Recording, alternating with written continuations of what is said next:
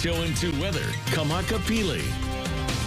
It's a beautiful way to start off the weekend where a lot of events taking place and for tomorrow that includes a total lunar eclipse. Here in Hawaii though unfortunately we won't see the true maximum uh, eclipse of this event because the moon will be below our horizon at the time. So we won't catch that total eclipse but we could if you're on Hawaii Island catch the ending portion of that as our moon rises especially for the east. It's going to be rising around 647 but then we still have a little portion of, of, catching somewhat of the waning portion of that eclipse as it continues to fade away. We expect the eclipse to end around 8.50, so make sure you uh, check out our website. We'll have this posted, whatever island you're on, you will have that information. And the best place to see that eclipse will be facing the east and southeast. And fortunately, in terms of cloud coverage, we're seeing improving conditions where by that time we should be having some clear to partly cloudy skies, so keep that in mind. For the threats tomorrow, it's going to be another beautiful day across the islands. Not much much taking place. Green lights across the board in terms of the threats for our surf. Two to four footers for the east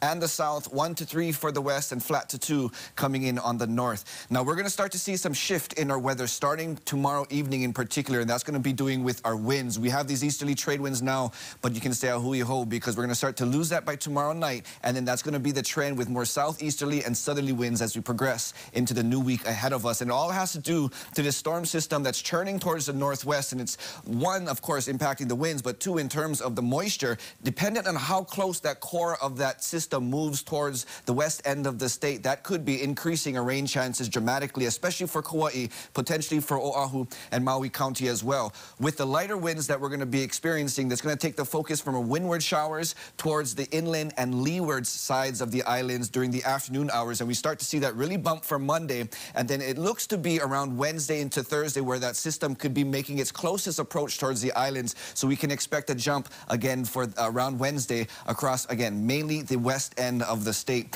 For tomorrow, though, another beautiful day before those changes start to come. 87 looks to be the high coming in from Kahului, Maui. Another mostly sunny to partly cloudy day across the islands where not much shower activity is expected. And that's what we experienced today, a very dry day across the islands. We could be seeing a nice little uptick of those showers tonight in through tomorrow morning. Again, lunar eclipse tomorrow evening. Catch that if you can. And then the the shift of the rains start on Monday in terms of afternoon for inland leeward areas that could be uh, creating more instability when that system approaches more around Wednesday and Thursday. Fortunately, drier conditions at the ending of our extended forecast. Unfortunately, we have a few days to deal with these light and variables. Sam, I give it back to you.